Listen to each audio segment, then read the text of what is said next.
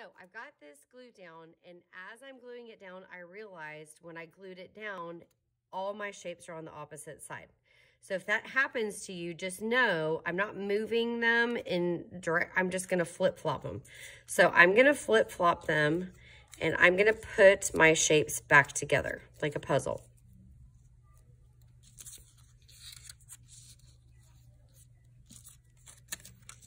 And they're gonna fit back into my original black piece of paper and it should look exact, if I get them all the right way, it actually should um, look exactly the same as it did before I started cutting.